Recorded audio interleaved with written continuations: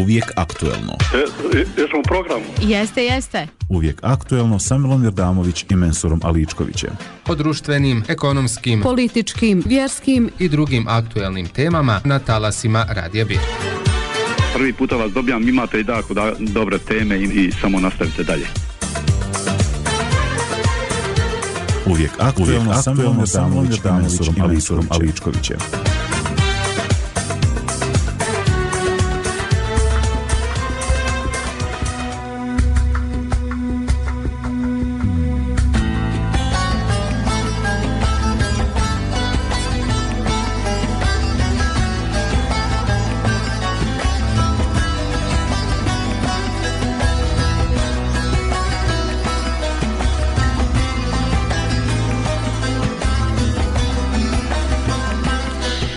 Kardiovaskularne bolesti najčešći su uzrok smrtnosti u svijetu, od kojih godišnje umire 17 miliona osoba.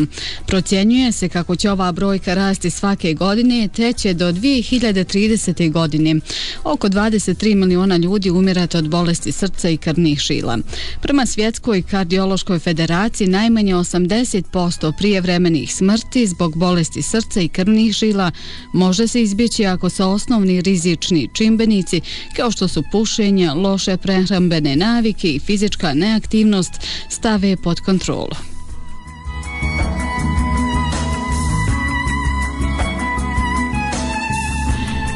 Kardiovaskularna oboljenja čini oko 50% uzroka svih smrti. Čini se da svaka druga osoba umire od srčanog udara, mada to nije jedino oboljenje srca. Šta sve uzrokuje bolesti srca? Koje su bolesti izliječive, a koje ne? Zbog kojih simptoma se trebamo zabrinuti?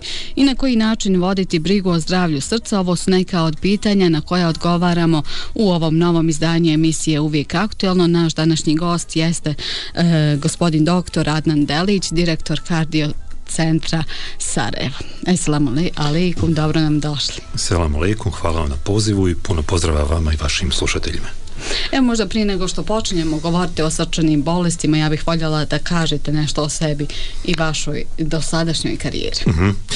Hvala. E, znači ja sam e, rođen tu u Sarajevu, pa sam kao dijete preselio u Gračanicu, završio srednju školu u Doboju, Onda sam studirao u Sarajevu, u Zagrebu, na kraju sam završio u Gracu, tamo sam diplomirao.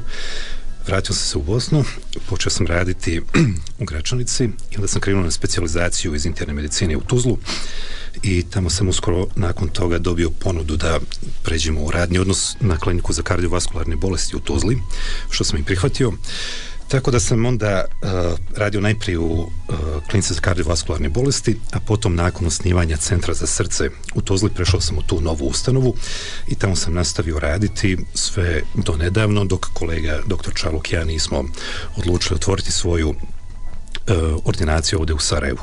Uh, tako da sam ja zanat, da tako kažem, kardiološki pekao na dosta dobrom mjestu. Uh, centar za srce u Tuzli ima jako dobru reputaciju i u zemlji, pa čak i van nje, kao jedna ustanova koja je e, na jednom dosta visokom nivou u oblasti tretmana kar kardiovaskularnih bolesti. I zaista imali smo i divan tim, odlične međuljudske odnose, e, dobru opremu, priliku da se puno toga nauči, tako da je to bilo odlično mjesto za razvoj jednog uh, mladog ljekara, dolazili su nam sve najteži pacijenti sa najkomplikovanijim problemima, tako da se tu baš uh, mogao taj, tu moglo se steći jako dobro iskustvo i ovaj, kažem, naučiti taj zanat i sad smo sve to odlučili malo donijeti ovde u Sarajevo i pokušati pružiti znači taj neki nivo usluge za koji mi mislimo da mora biti dosta visok i pacijentima na ovom području. E, doktore, čini se da, da danas svaka druga osoba umire od srčanog udara, međutim, e, srčani udar nije jedino oboljenje e, srca. Tako. O kojim srčanim oboljenjima još možemo govoriti? Pa, Ovako, prvo, uh, statistika je za našu zemlju čak nešto gora, jer uh, u nas 60 do 70% ljudi umire od bolesti srca i krvnih žila.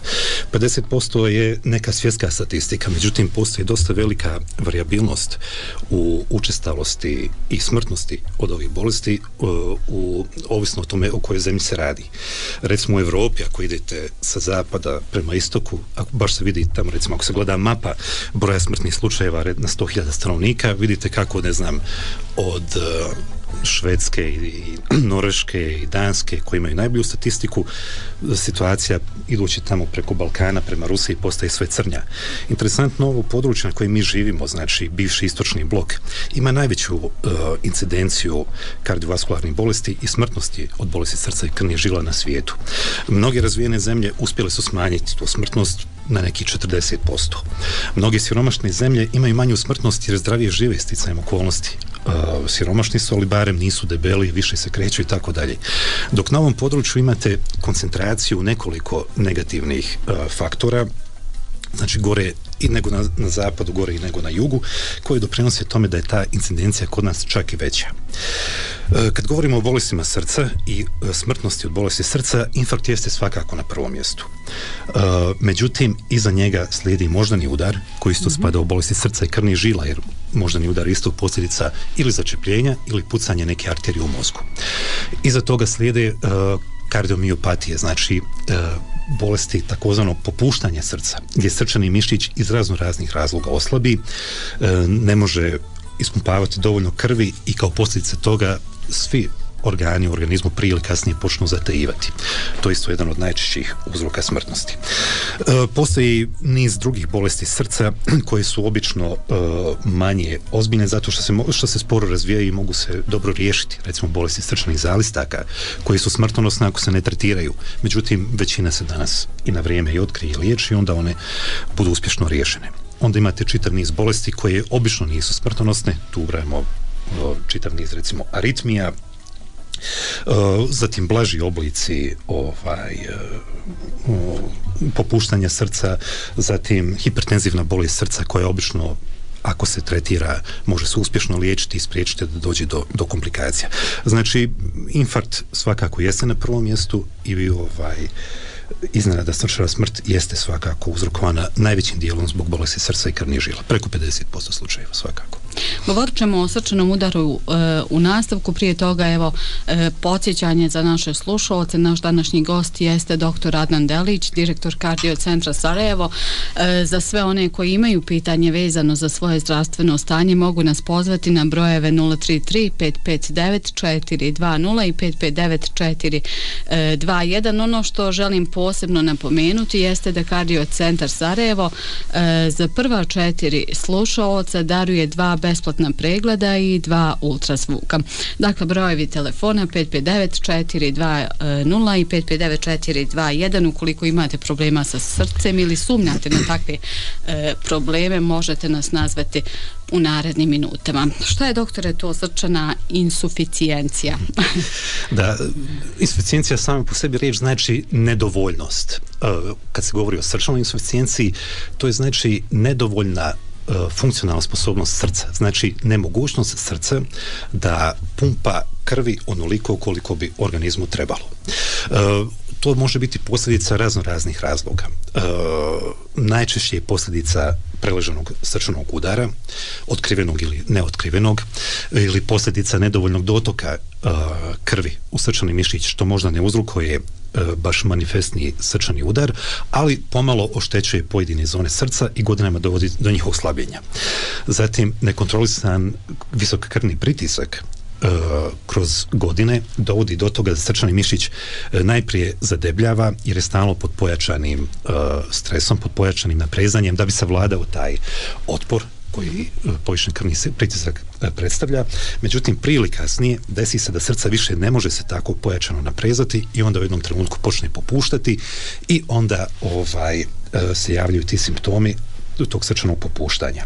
Interesantno, e, jedan od uzroka relativno čestih, ne baš tako čestih, ali viđa se, je recimo virusna infekcija koja može izgledati kao gripa hmm ovaj, a koja može e, taj virus koji napadne organizam može e, tako oštetiti srčani mišić da nakon preležane gripe imate srčanu insuficijenciju jer je recimo umjesto da srce ispumpava 60% otprilike krvi koji se nalazi u srcu i što je normalno spadne na neki 20-25% Tako da ovaj uzroci srčane insuficijencije su razno razni, ali princip uvijek taj da srčani mišić koji bi svojim stiskanjem trebalo da istiskuje krv u organizam i tako snabljiva organizam sa kisikom i drugim hranjivim tvarima, jednostavno srčani znači mišić kad popusti nije u stanju da to uh, dovoljno ni prima krv ni da ispumpava i onda se javljaju, javlja čitav niz problema koji se manifestiraju na raznim organima ovaj, koji su posljedica u osnovi srčane bolesti. To obično ide e, sa, sa opštom osjećajem slabosti, zamaranjem,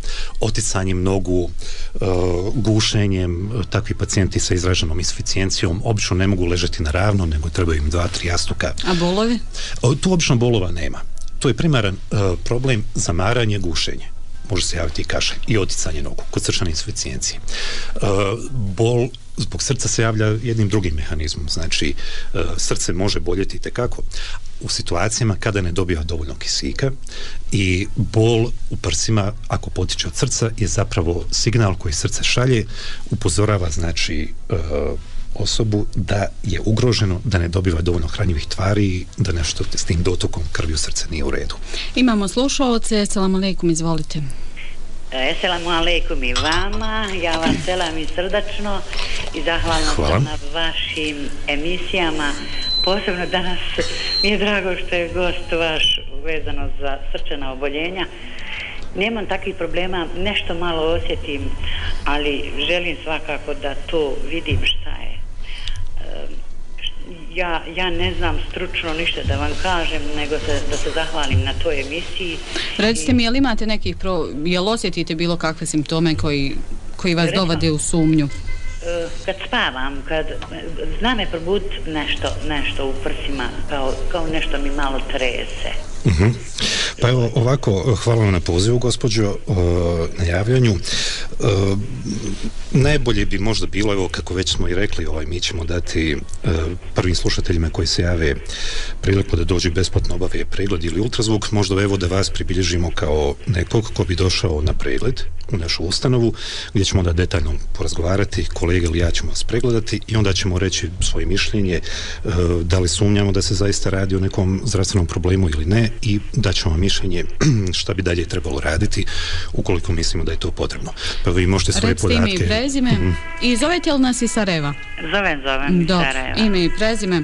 Emira Porča. Emira Poča, dakle, evo, vi ćete se javiti doktoru, kardiocentar, e, gdje se nalazi to, tačno? E, to je bivša vojna bolnica, sadašnja bolnica Budolah Nakaš, evo možemo dati gospođi uh mhm. -huh. broj telefona da se naruči za termin kod naše sestre, znači 062 408 444. Dakle, 062. Ja, mi ćemo imati vaše ime, tako da, da. imat ćete besplatan pregled, a za ostalo ćemo, ako bude potrebe da nešto preporučimo, mi ćemo vam reći. Da. Ja se zahvaljujem. Hvala vama, gospođo. Hvala na pozivu, idemo dalje, još nekoga imamo na liniji. Assalamu alaikum. Hvala, selam alaikum. Alaikum, selam, izvolite. Telefona. Pa ja sam taj od koga je doktor išao u školu, srčani sam bolesnik već 6-7 godina. Mm -hmm. Jedan stent ugrađen, imam desnu stranu začepljenu, to ja ovako svojim riječnikom doktor će razumjeti. Da, da, da, naravno. E to mi je tako da, ovaj, pa, slušam, slušam ovu reklamu vrlo često, ali nisam nešto u staciji, pošto sam penzioner, ali sad sam u staciji da trebam jedan ergometrijski pregled obaviti, mm -hmm. ali to, znate kako čeka se, to su sad ova čekanja. Mislim, hladno me u, u, jednoj ustanovi našoj zdravstvenoj sestra poručila šest mjeseci, sedam dana od da, da. dana kad sam došao, razumijete? Da, da, da. Pa, mi je drago da čujem ovo od vas, nemojte se ljuti, ja sam kroz ovo svoje vrijeme puno toga čuo, znam ja to, otprilike i te bolove, sam sve to prošao, razumijete? Apsolutno, da. Tako da sam jako zahvalan što smo, što smo došli mi na red ovako jednom što se našlo uh, uh, vremena i, i za ovo nešto što je baš jako puno, jer ja puno s ljudima pričam, pa vidim da je to baš raširena bolest. Apsolutno jeste, ovaj, već smo govorili o tome, više od pola, znači ljudi uh, umire od bolesti srca i krvnih žila. Što se tiče vas, ovaj, evo imamo nudimo mogućnost da dođete, ako ništa drugo, na pregled, pa da vidimo, da ponesete svoju dokumentaciju, naravno svu dosadašnju, da, da. možemo to pogledati i onda se eventualno dogovoriti šta još možemo za vas učiniti, evo vrlo rado ako... Recite nam ime i prezime. Vezir Kujović. E, Nezir Kujović. Nezire, vi ovaj, ovako, nazvaćete 062 408 444 jeste, nazovite, naručite se i evo imate dakle besplatan e, pregled u kardiocentru Sarajevo. Samo, samo napiši da je V, nije N, Nezir, nego V, Vezir. A Vezir? A Vezir, aha, dobro, dobro, zanimljivo, zanimljivo ime. E, hvala, Hvala puno na javljanju. Hvala vam. Allah nagradi, prijatno svima. Hvala lijepo. E, Da li imamo još nekoga na liniji? Imamo evo naš tonski realizator Dino Hožić. Izvolite. Dobar dan. Dobar dan, Dobar izvolite, dan, u programu ste. E, ja se javljam, slušam emisiju, pa sam htio da kažem da imam neki problem, ne baš jak, ali bih htio da se ponovo prekontroliše. Dobro. E, recite nam ime i ovako, Dakle, imamo, jeli, imamo dva pregleda smo već darovali našim imamo dva ultrazvuka, evo ako hoćete možemo vas predbilježiti za ultrazvuk srca. Kako da ne? Eto, ostavite svoje podatke, znači, Hvala lijepo. E, ostanite na liniji, nemojte ići s linije. Da li se čujemo još uvijek? Da, da, da, čujemo, čekam. Recite ime i prezime. Zijad Imamović. Zijad Imamović i vi ćete se javiti jel, na broj telefona koji smo već spomenuli, spomenut ćemo još e, nekoliko puta do kraja naše emisije, možete čuti jeli, reklamu kardiocentra na talasima Radija Bir. E, hvala Slušajte nas pažljivo i dalje. Dakle, za sve one e, koji imaju nekih problema mogu nam se javiti 559-420, 559-421 i još jedan ultrazvuk imamo e, za pokloniti. Hajde da obavimo još jedan poziv pa ćemo Može, može, nastaviti e, s razgovorom. Izvolite. Izvolite, u programu ste. Assalamu alaikum. Alaikum selam. alaikum. Ja zovem u, u vezi svoje mame. Kod nje je dijagnoza kardiomiopatija. Mhm. E, e, srčani je bolesnik, imala je infarkt i dijabetičar je, pa eto, ako može da... Može, ovako, uh, malo prije smo govorili o kardiomiopatiji, znači to je srčno popuštanje, jedan od uzroka najčešćih je upravo preležan infarkt koja ima i vaša mati. Dijabetes je opet jedan od uh, najvažnijih rizikofaktora za nastanak uh, srčanog udara, znači ona je jedan dosta tipičan srčani bolesnik. I nama je kod kardiomiopatije ultrazvuk srca upravo najvažnija metoda za procjenu stanja srca. Pa evo možemo i nju pribilježiti Da. kao pacijenta za naš besplatni ultrazvuk, pa neka se neka dođe i pregledat ćemo i učiniti sve što treba, naravno. Recite ime i prezime vaše majke. Zemanić Mera. Zemanić Mira, recite e, majci dakle da dođe, evo broj telefona na koji se e, mogu javiti slušalci koji su dobili besplatan pregled ili besplatan ultrazvuk jeste 062 408 444 e, Četiri. jeste Aha, i kad treba se nazvat? nazovite Kad bilo želite, kada Bilo kada i dobit ćete termin i onda u taj termin neka majka dođe i bit će sve obavljeno što treba. Hvala da vas Allah Hvala nagradi. vama, hvala vama. Hvala vama na pozivu. Dakle, podijelili smo darove kardiocentra Sarajevo, međutim, ima- ukoliko imate pitanja, možete nazvati i dalje. Da, Jel imamo nekoliko, nekoga na liniji? Imamo. Izvolite. Salam alaikum. Alaikum Salam. Ova, ne bi puno pregleda, ja sam zbog pregleda, ali evo usput ću pogovoriti nešto, pošto je već gotovo na tu temu. Dobro. Vidite, ja odmah ću pitat da, da, da ne duljim. Ovaj, meni 40 godina, ja se dobro osjećam. Ne znam, igram lopte i krećem se posao, ali u tim noćnim, noćnim satima, malo prije spomenuli, jastuk čuo sam, Mhm. ne znam, vidjeli voditeljica. Mhm. Kad- Da vam traži ako- visoko pod glavom kad ležite, jel? Obavezno. Ako legne bez zastuka, to isto kad ide kod negdje plovim, odo, odo, odo negdje. A osjećate li gušenje pritom ili samo taj osjećaj neke Pa imam nestabilnosti? momente u, u pošto ja malo neke sad imam, vraćamo se neki sad sni i, i, i, i jel, Mhm, tinkovi mhm. iz rata, pa sam u vojci, pa Mhm, sad se malo da, da, vraća da, isto, da. ali to, s- ja, probudim se, osjećam tako lupanje srca, isto, žena ga čuje do mene kad leži. Aha, aha, aha. Jako znojenje u tom momentu, onda devam dugo da se dozovem. Može to biti vezano za srce i ne mora, naravno. Tako kako opisujete, um, vjerovatno nije vezano za srce. Jer čim vi možete, znači, trčati, baviti se sportom bez problema, uh, srce vam je najvjerojatnije mm, zdravo. Ovaj, a zašto se javlja to gušanje noću u toj kombinaciji koju navodite, znojenje, lupanje srca, najčešći uzrok tu ipak neka vrsta traume i stresa koja se upravo u noćnim satima manifestira. Ako ste već bili u ratu, ako ste imali sve te traumatske doživljaje, onda nije nimalo čudo da to ostavi posljedice. Tako ovako, naravno, ne možemo reći ništa decidno samo na osnovu ovako razgovora preko telefona, ali na prvi ovako, na prvu informaciju kako to objašnjavate, najvjerovatnije nije srce u pitanju. A naravno, evo, da bi rekao nešto detaljnije, morao bi vas detaljnije pogledati, porazgovarati i tako. tako. Ovaj, mm-hmm. uspučka se već nazove mm-hmm. pitavo i te neke dnevne situacije ako se čovjek uznemiri sad nije bitno je li to sad jel radost ili tuga ili nešto. U momentu ono ošćaš malaksalost i 5-6 lece mi vazduha ne znam iza koljena mi počne trnt ovo, iza koljena ove, ove dvije, dvije, mm-hmm. dvije mm-hmm. kao tetive. Aha. Gubljenje pa... vazduha ali ono baš u pravom smislu to. To treba malo... 5-6 minuta da zove. Jel to ima neke veze sa srcem ili jednostavno i to neki jel to već, to već m, je teško reći sa sigurnošću jer tipično je recimo u nekom uzbuđenju, u radosti, žalosti, bolu i slično, tipično je da srce lupa, da se brže diše, da skoči krvni pritisak, što obično ide malo sa osjećajem crvenila u licu, može ići sa glavoboljem i tako dalje. A baš da se pritom javi tako neka slabost i neka omaglica, to je malo netipično znate. To je ovako nešto što bi trebalo malo detaljnije pogledati i ispitati da bi se moglo reći decidno. Znači, zato mi je teško reći mali veze pa, sa srcem ili ne. Pa naravno, ovo sam je ovo ovako pita mm, više da, da. savjeta doći, ne doći u to. Pa, ako postoji dilema, uvijek je bolje provjeriti. To je naš stav. Znači, ovaj, kažem, ovo su vrlo česti problemi. Puno ljudi ih ima evo recimo od ovih ljudi koji nas slušaju ove godine će sigurno ha, možda i desetine dobiti ovaj infarkt neki će od toga i umrijeti. To je jednostavno tako, to je ovaj realnost izbilja. Znači, naš je stav uvijek shvaćamo ozbiljno probleme, čak i sumnju na probleme sa srcem i uvijek to volimo provjeriti i srećom današnja medicina je u stanju, stanju da puno toga i otkrije i puno toga i riješi. Evo, znači, preporuka, ako postoji sumnja, pozivamo i vas da dođete, evo, da porazgovaramo, da vas pregledamo i da vidimo šta, šta dalje. Jedan broj, pa tako. broj važi za, za doručivanje svakako apsolutno, ne, ne. Da, u svakom slučaju. Da, apsolutno, to je naš standardni broj, pa, važi za sve, jeste.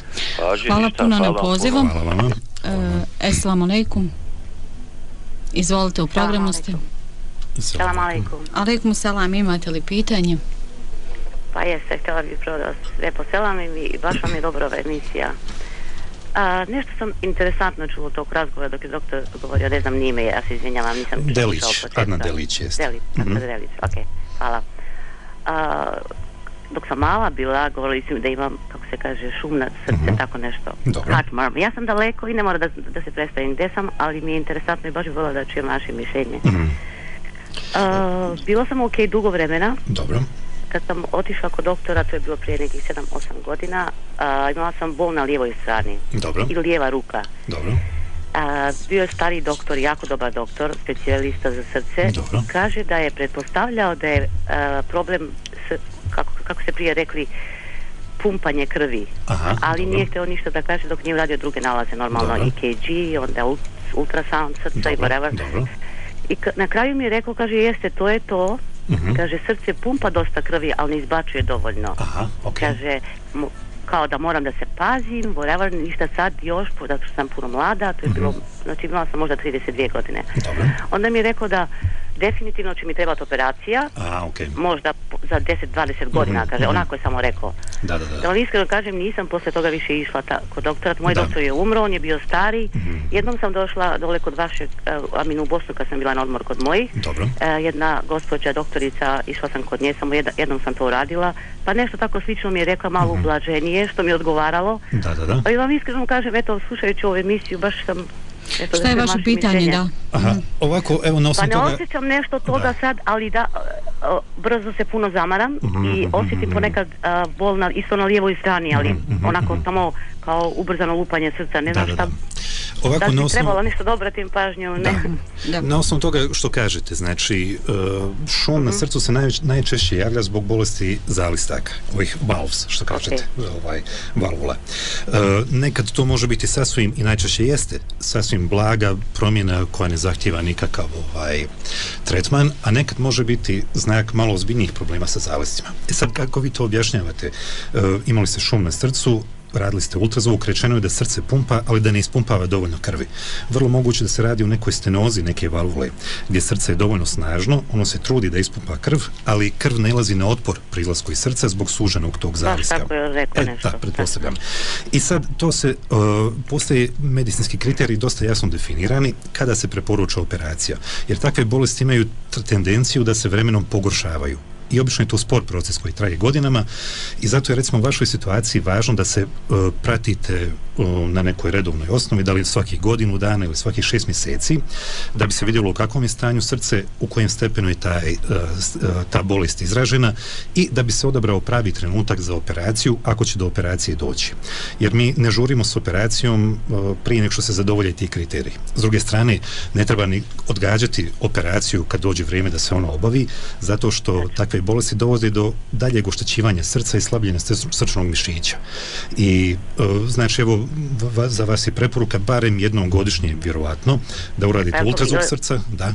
I ovaj i da se to prati. Jel vi mhm. radite te operacije dole? Baš bi da znam. Radimo. Radi se u Tuzli. Naime, ovaj radi se na nekoliko mjesta u Bosni i Hercegovini. E, Tuzla mislim da ima najveći broj pacijenata, radi se ovdje u Sarajevu. E, tako kad dođe vrijeme da se radi operacija, gotovo sve operacije na zalestima se radi u Bosni. I radi se dosta dobro i ako dođe vrijeme, zato evo, mi vam možemo i preporučiti gdje da se javite i koje procedure u pitanju i tako dalje. Vam iskreno kažem, više bilo da tamo nekako više verujem kod nas i, i može, kad se, kad, se, kad se priča o ovome, medicina, medicina, da. bolje razumijem. I osnovni, još jedno vam nisam rekla, moja mama je operisana od srca, jako mlada, 30 nešto mm godina, so, može i to biti, eto, može da sam... Za neke bolesti postoji, postoji nasljedna sklonost, tako je, za neke ne, tako da...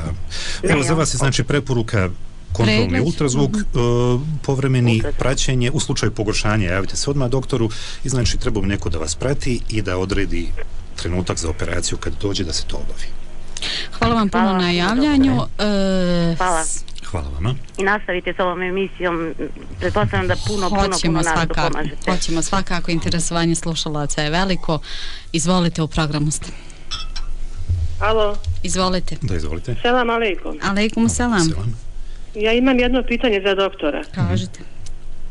E, mene interesuje e, da kod povišenih triglicerida u krvi interesuje me da li može biti kontraindikacija kada se uzima lijek Restor da li mhm. se može u isto vrijeme uzimati uh, grape jer imam neke informacije na internetu i razno tumačom ljekara kao da u kombinaciji s tim lijekom ovaj, može biti koban ne, ne, ne, ne, koban sigurno neće biti, e, možda može malo uticati na djelotvornost lijeka.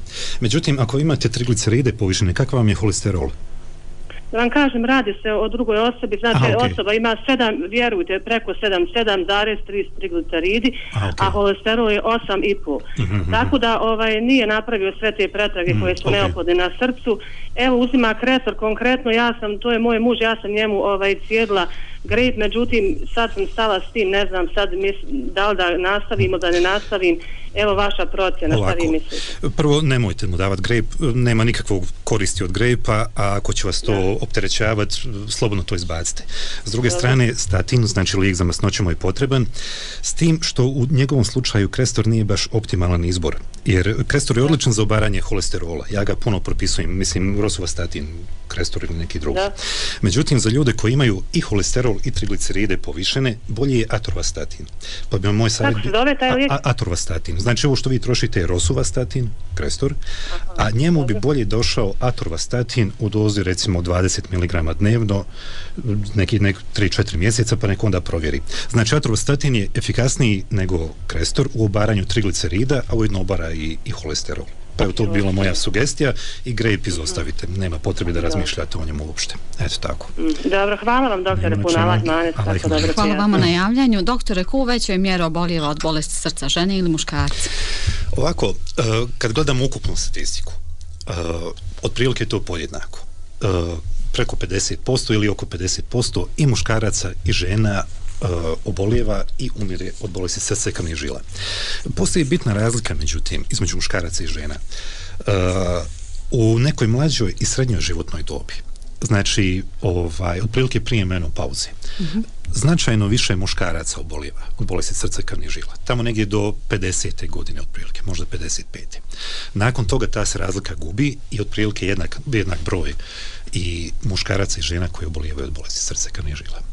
Postoji li, a da, evo spomenuli ste određenu životnu dob e, kada su ta srčana oboljenja češća? E, srčana oboljenja su češća sa godinama.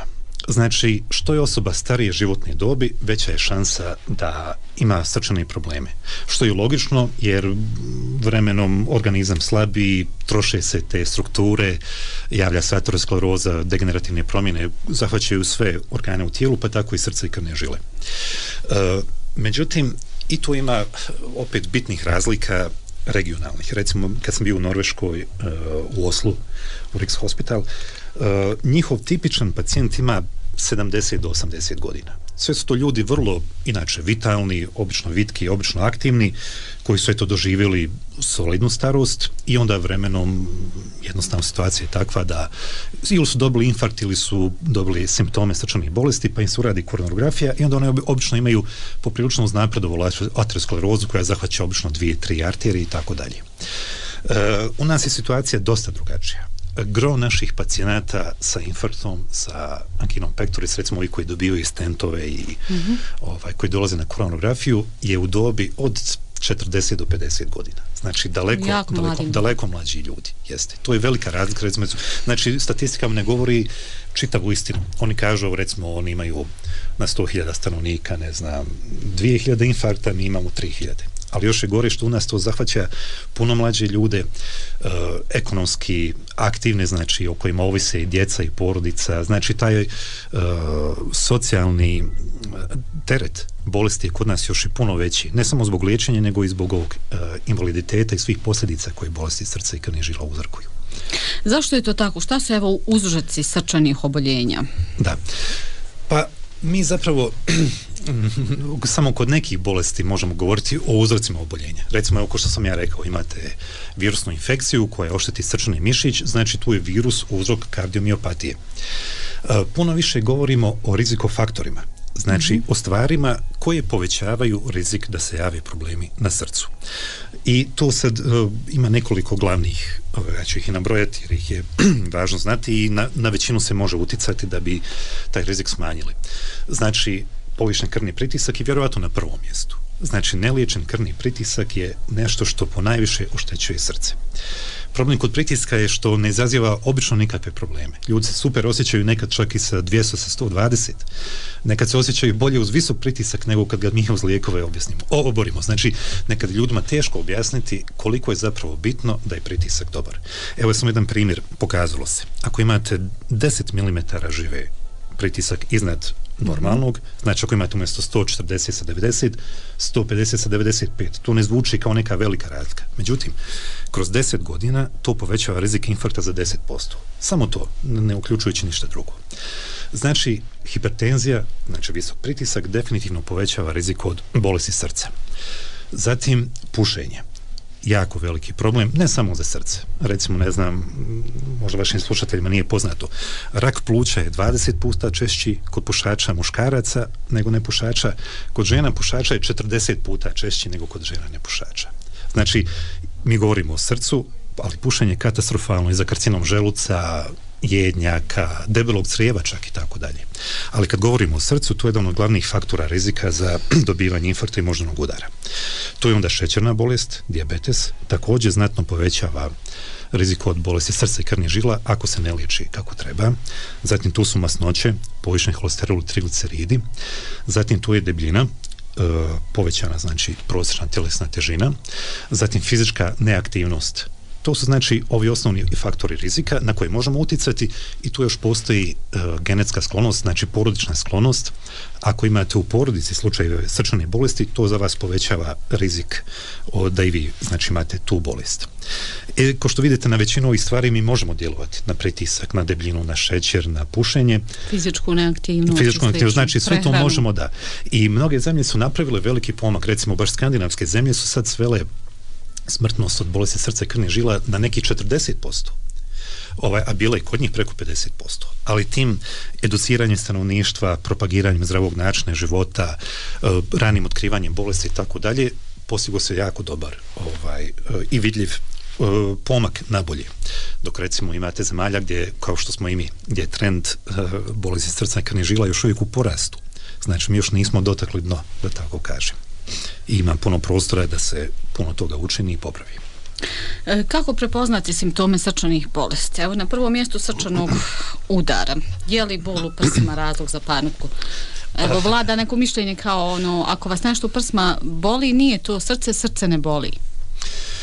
Uh, ne bih, Ali to nije tačno. Nije, nije, nije tačno. Uh, Srce ipak boli. Evo, odakle da počnemo. Znači, postoji čitav niz različitih bolesti srca. Zapravo grupa čitavih. S jedne strane evo imamo uh, infarkt, on spada u ishemijsku bolest srca. Znači bolest srca zbog nedovoljnog dotoka krvi i kisika u srčane mišiće. Zatim ono što smo rekli imamo kardiomiopatije, bolest srčanog mišića, nekad poznatog uzroka, nekad nepoznatog. Zatim imamo aritmije koje su potpuno priča za sebe i onda valularne bolesti, bolesti zalistaka i tako dalje. Ali evo ako govorimo o najozbiljnijim i najčešćim simptomima, ja bih rekao ovako, bol u prsima uh, uvijek ozbiljno shvaćamo i nikad ne možemo i ne trebamo reći nije to ništa, nije od srca. Najčešće nije, to je činjenica. E, taj bol može biti zbog probavnih smetnji, zbog bolesti mišića, kostiju, stresa i tako dalje.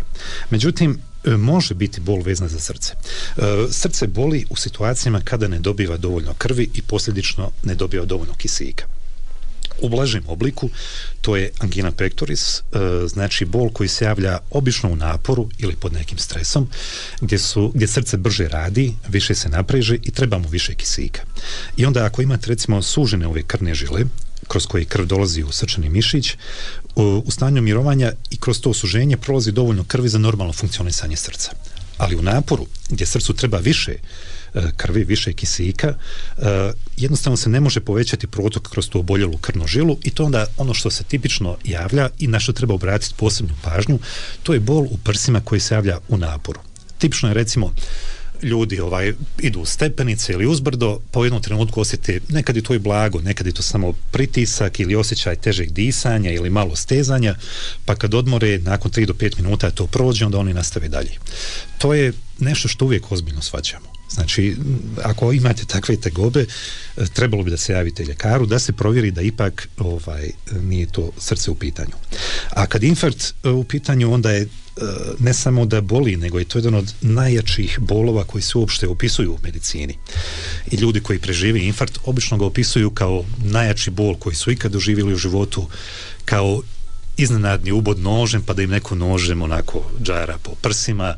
Vrlo često imaju osjećaj da će umrijeti vrlo su uplašeni, panični. Znači to je jedno iskustvo koje se obično ne može pomiješati ni sa čim drugim. Znači ne samo da boli nego i tekako boli. I ako tako nešto doživite bez imalo oklijevanja javite se u najbližu stanicu hitne medicinske pomoći, bilo da vas odveze hitna, bilo da sami odete. E, ako infarkt krene, tu svaka minuta strahovito puno znači e, i može se jako puno učiniti ako se brzo intervenira s druge strane ovaj, e, ako se propusti taj uh, idealni termin, a to je prvih 6 sati, pa i do prvih 12 sati nakon početka infarkta, onda obično sve što mi radimo manje ili više ne može puno popraviti to, Koliko to stanje. uopšte traje srčani udar? Ovako, srčani udar Evo ako malo samo da ukratko objasnimo šta se, o čemu se tu zapravo radi. Znači postoji dvije krvne žile koje dovode krv u srčani mišić, znači u čitavo srce. One se poslije granaju na manje ogranke i šire se po površini srca i snabdijevaju srce sa krvlju. Infarkt nastaje kada dođe do iznenadnog začepljenja neke od tih arterija ili od njihovih ogranaka. U toj situaciji jedan dio srca ostane potpuno bez krvi. I o, kao i svaki drugi organ koji ostane bez krvi, on počne prvo biti oštećen, a poslije počne i odumirati. Znači već maltene od pete minute početka infarkta krene proces oštećivanja srčanog mišića. I naša je šansa da nešto učinimo e, dobro, najveće ako reagujemo idealno prvi sat, dva, ali evo, u prvih šest sati svakako e, medicina pokušava da pročepi to začepljenje na postoji više načina kako se to može izvesti i e, najveći efekt u liječenju srčnog udara ima brzo otvaranje začepljene arterije. Ako to uspijemo napraviti na vrijeme, e, možete imati čak i težak infarkt koji će proći potpuno bez posljedica. Ja sam imao takve pacijente, recimo gdje smo imali dobru saradnju sa kolegama na terenu, e, pacijent je recimo već informisan e, o, tome šta je infarkt, znači čim osjeti te probleme, odmah se javi ljekaru, ljekar mu odmah da lijekove koje treba dati na licu mjesta, uradi EKG, koja nam je glavna metoda za brzo prepoznavanje infarkta, odmah ga stavlja u kola hitne pomoći, nama javlja da će on doći, mi ga već čekamo s spremnom salom, uh, uradimo koronografiju, uradimo stent i recimo od početka bola do uspostavljanja krvotoka normalnog, znali smo sve to napraviti ispod sati i po vremena. I znam takve pacijente, recimo baš sa vrlo važnom arterijom začepljenom na samom početku, koji recimo nakon e, dva, tri dana izađu iz bolnice, nakon deset dana se javlja već na posao, nakon dva, tri mjeseca uradim ultrazvuk gdje se uopće ne prepozna da, je, da se išta desilo. Znači, tu je triumf medicine, možemo reći. Mm. S druge strane, što je nažalost puno češći slučaj, ili se pacijent ne javi na vrijeme, ili intervencija ne bude adekvatna, to su ljudi koji trajno, doživotno, uh, recimo taj dio srca koji je zahvaćen infarktom i nije se uspostavio krvotok na vrijeme, taj dio srca odumre, uh, umjesto da imate mišić, imate ožiljno tkivo i koje je potpuno nefunkcionalno. Ono služi samo kao vreća da krv ne isuri iz srca. Ali u tom dijelu srce se uopšte ne steže, nema nikakvu funkciju. nema pomoći. Tu kasnije nema pomoći. Tu kasnije nema pomoći. Rade se neka istraživanja gdje se ubrizgavaju uh, ove matične ćelije u taj mrtvi miokard da bi se pokušalo nekako obnoviti to mišićno tkivo E, rezultati su za sad vrlo skromni, vrlo skromni, procedura je vrlo skupa, vrlo komplikovano i u najboljem slučaju što je opisano to je poboljšanje funkcije za nekih 5 do 10%, znači poprilično nemamo poprilično je to gotovo. Znači treba reagovati na vrijeme i tu se može strahovito puno učiniti. Da. Izvolite u programu ste. Alo, salam alaikum. Alaikum salam. salam. Almedni pre telefona. Ja pitao doktora, vezano za zamaranje za stupence. Dobro. I imam situaciju da mi ruke, pogotovo kad je hladno, znate. Dobro. Ova, bio sam, u januaru sam bio u bolnici sa dijagnozom angine pektor sportskog karaktera. Dobro. Posle tog sam, posle tog su ustanovili stvari da imam kao začepljenje uh, krvnih žila uh, te da imam slabiji protok do srca. I nedavno sam radio nalaze gdje sam imao uh, K, treći K zubac mi je bio mhm. kao skroz uši ima vrlo malo opcija srca, ono, ne znam, 50, otprilike 55. Dobro. Eto, to je uglavnom to, pa ne znam šta mi vi možete savjetati vezano za pa, to, to su stvari koje možemo, naravno ako ne mogu precizno ništa reći 100% preko telefona, ali to je vrsta problema koju možemo inače vrlo, vrlo jasno i efikasno razriješiti i dijagnosticirati i utvrditi šta jeste, šta nije. E, prvo da krenemo od broja otkucaja, uopšte nije problem ako imate u miru 50 do 55 otkucaja, ako se pri tome dobro osjećate. Znači, to je neka varijacija normale, nekad i lijekovi uspori dodatno rad srca, znači to nije nešto što bi vas trebalo brinuti.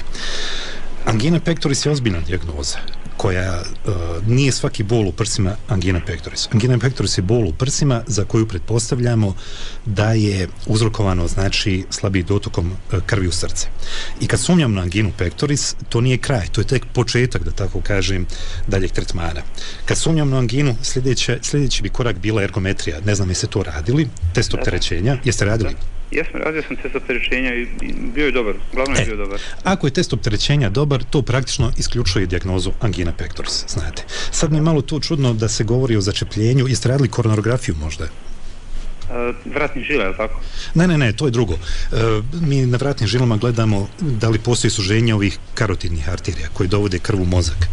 A kad govorimo o srcu, e, druge su arterije koje dovode, to su koronarne arterije, koje dovode krv u srce, one se ne vide ultrazvukom, one se vide samo koronarografski, znači radi se koronarografija, naravno samo kod pacijenata gdje sumnjamo da je ovaj, da postoji to suženje.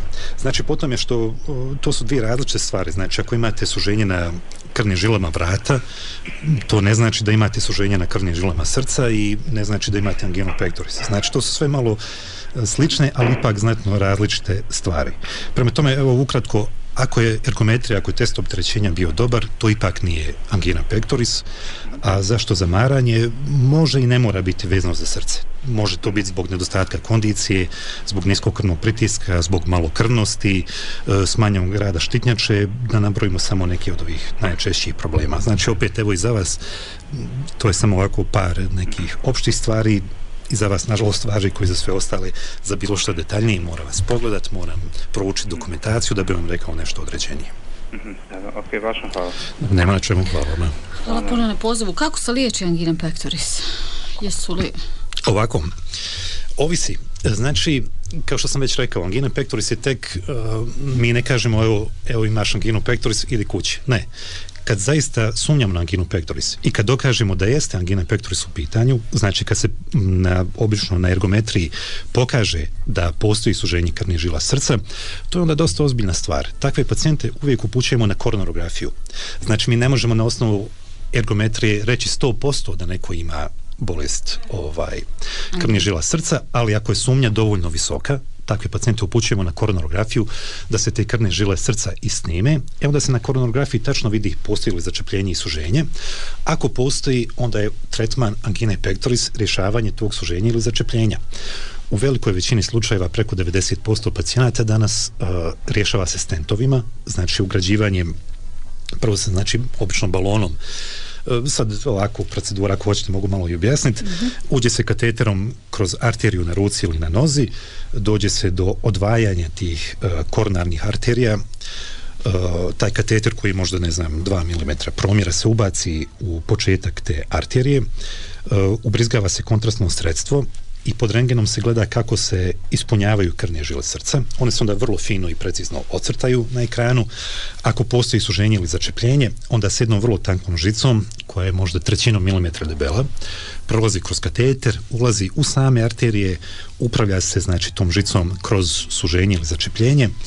Preko žice se navuče jedan balon, obično milimetar dva promjera koji se napuhuje visokim pritiscima i preko 20 atmosfera čak da bi se to suženje ili začepljenje raširilo i obično se nakon toga stavlja stent. Stent je jedna metalna mrežica uh, koja se nalazi na balonu skupljena ona se dovede na mjesto suženja, unutar same arterije, balon se napuše pod visokim pritiskom, mrežica se raširi i ona ujedno raširi arteriju, kao otprilike armatura od cijevi betonski, znate. Može li arterija pučkat? Može. Meni se to desilo jednom i kolegi se, to se desilo dva puta što ja znam u Bosni i Hercegovini. Meni se desilo i nakon sedam dana mom kolegi.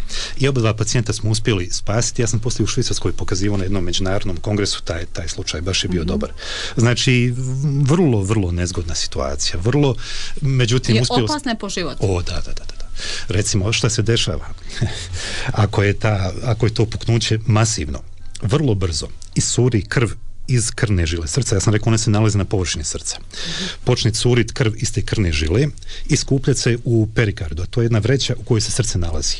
Jednostavno, srce, e, krv se nakuplja, u toj vreći ne može nigdje dalje ići i ta nakupljena krv stišće srce i srce se jednostavno ne može više širiti i srce stane, odnosno prestane pumpati zbog te krvi koja se nalazi ovaj, u oko, to, to zove tamponada srca. Srećom i u jednom i u drugom slučaju kad se nama to desilo, mi smo uspjeli brzo začepiti tu arteriju, mm -hmm. onda smo čekali nekih pola sata da to krvarenje stane, kad smo izvukli balon bilo je sve u redu, tako da su oba dva pacijenta preživjela. Ne, ne preživi, nažalost, uvijek pacijent. Onaj, to, je, to je, znači, vrlo, vrlo rijetka komplikacija. Ja sam ne znam koliko radio, hiljada, možda 5-6 hiljada koronografija i možda jednom hiljadu nešto stentova. Jednom se to desilo i tad nije bilo fatalno. Znači, to jeste rizik. E, puno češće se dešava... A ne postoji nikakav druga, drugi način za rješavanje, recimo, tangirni pektoris? Lijekovima neće... A ovako, lijekovima se ona može ublažiti. Naime, ovako, postoji lijekovi ko što je nitroglicerin, koji pomažu kod angine pektoris da ublaži taj bol. Mm -hmm. Međutim, nitroglicerin ništa ne rješava, suženje ostaje kako jeste. Samo, samo simptom. Samo simptomatski. Postoji sad lijekovi koji, uh, pardon, Mm -hmm. ništa, ništa, sve ovaj, e, postoje lijekovi koji vremenom mogu dovesti do toga da se smanje te naslage aterosklerotske. Ja sam to vidio, recimo naručim pacijenta, ima recimo vrlo izraženo suženje na koronografiji, naručim ga za stent, on dođe nakon mjesec dva, suženje je sad daleko manje i nekad čak smo znali dosta do intervencije, jednostavno više nije potrebna. Znači, novi lijekovi, a tu su prije svega se dobro pokazali ovi lijekovi protiv masnoća, statini, mhm. oni dovode ovaj, ne kod svih pacijenata, ali znaju dovesti do smanjenja tih aterosklerotskih naslaga. A osim stentova o kojima smo govorili za tretman uh, suženja ili začepljenja tih koronarnih arterija, klasični tretman je hirurgija, znači bypassi, kojima se jednostavno ta začepljena ili suženja, sužena područja arterije zaobiđu tako što se uzme komad vene sa noge ili ređe komad arterije sa ruke i sašije se e, prije i poslije tog suženja, tako da krv zaobilaznim putem uh, prolazi i uspostavlja se normalan, normalan protok. I takvih pacijenata je ispod 10% svakako koji se hiruški tretiraju. Mm. Šta je vaša preporuka recimo? Preporuka... Šta je Pazite, kad su pitali hirurge u Americi šta oni više vole, operaciju ili stent, 70-80% je reklo stent. Znači, čak to je lakše za... Apsolutno. Čak ni hiruzi nisu za operaciju, čak i oni to izbjegavaju gdje god je moguće.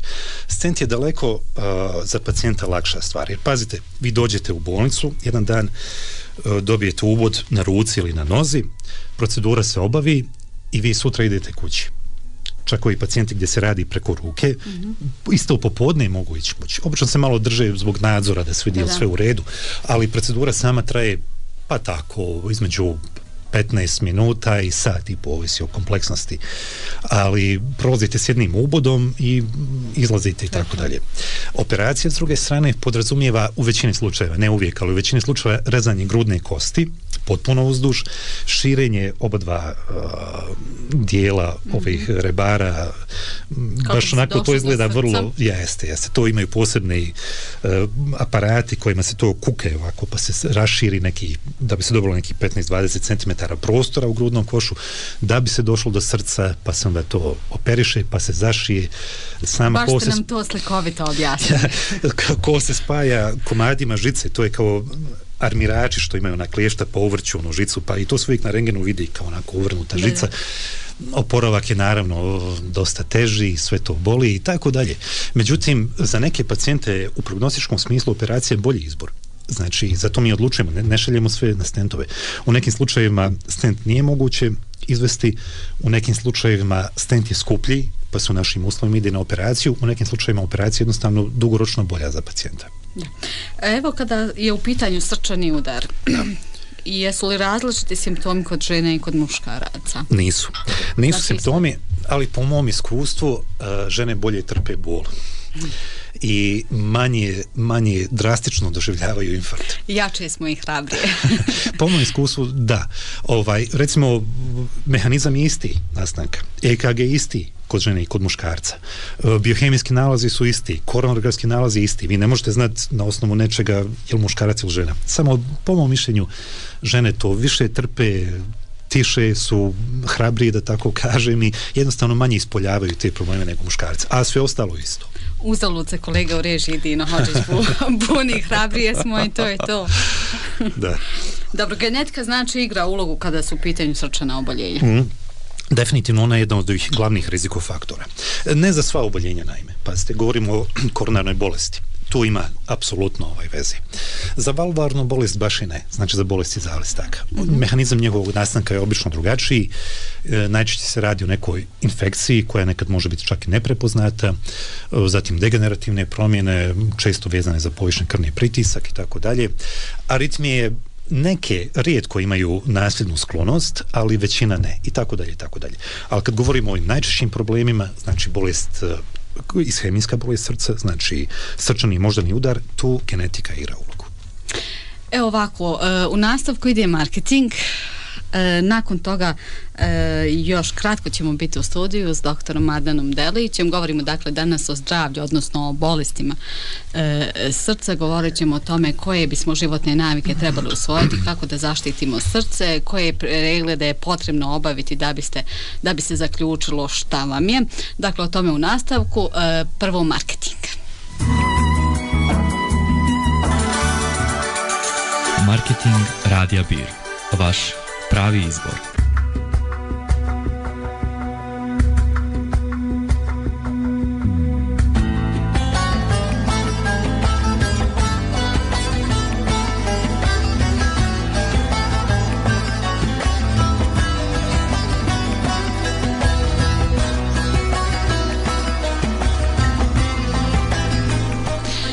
Nastavljamo poštovani slušalci, druženje u emisiji Uvijek aktualno. Danas razgovaramo o oboljenjima srca sa doktorom Adnanom Delićem, doktorom e, kardiocentra Sarajevom. E, koje vrste doktore pregleda je potrebno e, da obavi neko ko sumnja da ima nekih srčanih problema i evo u vašem centru koji se to pregled mogu obaviti?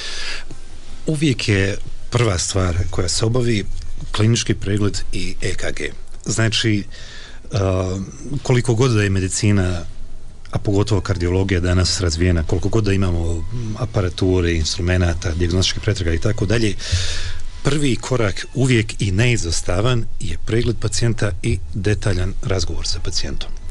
E, to je nešto što se u današnje vrijeme možda malo i podcjenjuje ili omalovažava, međutim, apsolutno je pogrešno ovaj, ići tim putem, oslaniti samo na tehnologiju i na tehniku. Znači, razgovori, pregledi, ono čemu mi, e, gdje mi uočavamo e, bitne stvari od onog što, što pacijent kaže donosimo zaključke o čemu bi se moglo raditi na što treba obratiti dodatnu pažnju i tek onda kad na nešto sumnjamo već onda preporučimo razno razne pretrage ukoliko su potrebne ovisno o tome šta mislimo da je za tog pacijenta najbolji znači uvijek pregled i EKG idu prvi. Nakon toga postoji čitav niz e, pretraga ovaj, koji se mogu obaviti ovisno o tome e, kome su potrebni, kome ne. Mi moram reći da radimo od neinvazivne, znači od kardiologije koja ne uključuje neko ubadanje, sjeckanje i tako dalje, radimo praktično sve. Znači, osim pregleda, kolega i ja radimo ultrazvuk srca, naše iskustvo je tu specifično jer smo, kažem, godinama i decenijama čak radili sa najkomplikovanijim uh, pacijentima gdje je trebalo donositi odluke je li neko za operaciju, je li za promjenu terapije, u kojem pravcu ići i tako dalje. Znači, baš naše iskustvo je malo bogatije nego što je vjerojatno kod jednog prosječnog ljekara. Zatim radimo ergometriju, znači test opterećenja o kojem smo govorili. Uh, i tu je naš specifikum u tome što smo mi recimo često bili u situaciji da razgovaramo s pacijentom pa mu preporučimo ergometriju uradimo ergometriju pa kažemo nalaz nije dobar, treba vam koronarografija, onda mi uradimo i koronarografiju pa kažemo evo nalaz nije dobar, treba vam stent, pa onda uradimo još i stent mhm. i onda nakon toga ponovo pratimo pacijenta, uradimo ne znam, kontrolnu ergometriju i tako dalje. Znači tu imamo malo jedno šire iskustvo, sticajem okolnosti jer smo radili na takvom mjestu i takvoj ustanovi gdje smo, gdje smo bili u situaciji da imamo, znači, da ispratimo pacijenta od samog početka do samog kraja tretmana. Znači, ergometriji radimo za pacijente gdje sumnjamo da je slabiji dotok krvi srčani mišić. Radimo Holter EKG, Uh, nekako su poremećaj ritma moja uža subspecijalnost i oblast koju ja posebno volim tako da i tu imam možda i neskromno reći ali stvarno neobičajno i bogato iskustvo i radio sam evo implantacije kontrole pacemakera i sve to mi omogućava da dosta mogu reći kvalitetno obavljam taj dio posla. Znači holter EKG, s tim što mi radimo holter i do 14 dana kontinuirano, ne samo 24 sata. Radimo holter pritiska, to je vrlo važna metoda koju ja pokušavam malo promovirati. To je po novim smjernicama e, svjetskim najbolji način da se postavi dijagnoza visokog pritiska i da se procjeni učinak terapije tu se znači pritisak ne mjeri se samo jednom, nego se u toku dana i noći mjeri nekih 200 puta i dobijemo tačne znači podatke kakve su pravi vrijednosti pritiska. Uh, uz to radimo kontrole pacemakera, Metronic, uh, Vitatron i Biotronic. Inače, na Sarajevskom kantonu jedino mi imamo uh, kontrolor za biotronikove pacemakere. Pa ako ste pacijent s tim pacemakerom, ne morate ići ništa dalje, možete doći kod nas, mi ćemo to pogledati. Znači, to je ono što radimo trenutno. Uh, inače mi radimo i, i dalje i u centru u, Tuzli povremeno za neke pacijente kojima treba obavljati neke interventne procedure. Pa sam ja već imao pacijente neke svoje kojima sam stavljao pacemaker i nakon što sam napustio centar i tako dalje. Znači, ukoliko je potrebna i dalja obrada, uh, bilo dijagnostička, bilo terapijska i tu imamo znači uh, kontakte s našim kolegama, znamo ko šta radi i možemo znači svojim pacijentima preporučiti i kuda ići dalje. Evo ono što e, sasvim sigurna sam da pacijente zanima koliko se kreću cijene tih pregleda? Ovako, cjenovnik možete dobiti za sve pretrage e, na ovaj isti broj telefona e, mhm. na koji smo vam rekli. Iskreno ja ni ne znam baš tačno sve. Uglavnom, kada smo formirali cjenovnik, pogledali smo kako se inače kreću uh, cijene drugih uh, kolega na sarajevskom tržištu i onda smo se trudili uvijek da budemo među najpristupačnijima. Znači uh da uh, puno više volimo da nam dolazi više ljudi uz manji profit nego da ovaj nam dolazi uh, tako da ne budemo baš dostupni da se koncentriramo na, na manjim broju bogatih ljudi. Osim toga imamo popuste za penzionere i za studente, tako da uh, o detaljima možda najbolje da se informirate na ovaj telefon mm -hmm. koji, koji, smo, koji smo dali. Jer ima dosta, kažem, pretraga radimo i nisu iste cijene, recimo, za uh, svakoga jed, nisu jednake, znači za penzionere su neki 25% niže, tako da najbolje da svako, ako ima neko pitanje, E, i želi neku informaciju, može nazvati ovaj telefon i pitati konkretno o čemu se radi. 062 408 444 to je broj kardiocentra uh, Sarajevo, možete pozvati i dobiti sve moguće informacije. Koje vrste pregleda preporučujete u cilju preventivnog djelovanja? Je li potrebno ovako s vremena na vrijeme obaviti pregled? Jeste, ovako šta se savjetuje inače? Svakome se savjetuje da povremeno izmeri krvni pritisak, bez obzira kako se osjeća dobro ili loše. E, to bi recimo trebalo bar jednom godišnje svako da uradi. Uh, ukoliko se izmjeri povišen pritisak, to ne znači automatski da je potrebna terapija. Ja nikad na osnovu jednog mjerenja ne uključujem terapiju, osim možda ako je 250, sa ne znam koliko. Nego, ako se jednom izmjeri visok pritisak, onda se napravi barem nekoliko još mjerenja u narednom periodu da bi se vidjelo kakva je prosječna vrijednost. Ili ono što ja pogotovo volim uraditi je taj holter pritisak. On nam daje baš ono najprecizniju moguću informaciju e, da li je nešto za liječiti ili ne. Znači, godišnje, recimo, izmjeriti pritisak, to bi savjetovao svakome. Svakome se savjetuje iza neke 30. ili 35. godine da uradi masnoće, znači lipidni profil, ne samo ukupni holesterol, nego i ovaj takozvani dobri loši LDL, uh -huh. HDL, trigliceride i ako je nalaz dobar, za tri godine recimo opet da to ponovi. Svako bi trebao otprilike jednom godini ili možda u dvije godine uraditi šećer -hmm. i to je znači e, nešto što se svakom preporuča. E, ne bi bilo zgorega i to isto preporuka da se jednom godišnje barem javite ljekaru, da radi ovako nekog opšteg pregleda, da se snimi EKG, da se malo pregleda ovaj ovo osnovno srce pluća da se porazgovara nekad i simptomi koji ljudi ne svaćaju ozbiljno mogu biti zapravo znak nečega ozbiljnijeg. Tako da najbolje se prepustiti profesionalcu ovaj da sam procjeni da li nešto bitno ili ne. To je govorim o ovim osnovnim stvarima. I naravno EKG se s njim jednom godišnje. A sve ostalo se radi po potrebi. Znači, ovisno o tome imali znakova bolesti, imali posebnih problema, sumnjali se na nešto posebno i tako dalje. To onda već ulazi u malo detaljnije ispitivanje. Kako da zaštitimo svoje srce? Koje, evo, bismo životne navike trebali usvojiti?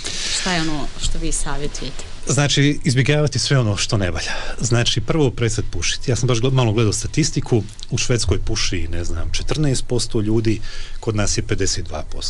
Samo je Rusija i, ne znam, Turska Grčka, ma, nije, nije čak ni Turska. Ne puše, to, to je malo predrasa da Turci toliko puše. Isto ko što je predrasa da piju kafu. Ne piju i uopšte. Ovaj, Rusi su najgori, a mi smo među najgorima po tome. Znači, prek, mislim, imamo mi zakone zabrani toga, ali vi vidite sjednicu vlade, ti isti ministri što su taj zakon donijeli, imaju pepeljor ispred sebe, mislim, eto, šta onda, u bolnicama se puši. Ja kad, da, sam, kad sam bio na, na, na, na specializaciji, otvorite vrata intenzivne njege, zapahne vas milit. Na intenzivnoj njezi, gdje su pacijenti s akutnim infarktom, mislim, šta onda, to, to je katastrofa. To nisam nigdje vidio osim kod nas. Evo. Znači, prestanak pušenja bi vjerojatno bila najlakša i najefikasnija i najjeftinija stvar za poboljšanje ovaj zdravstvenog stanja populacije. Iza toga kontrole krvnog pritiska i pravilno liječenje krvnog pritiska.